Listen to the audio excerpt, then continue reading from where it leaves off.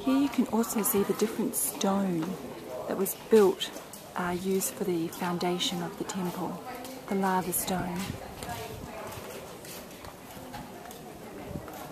So it's tier upon tier.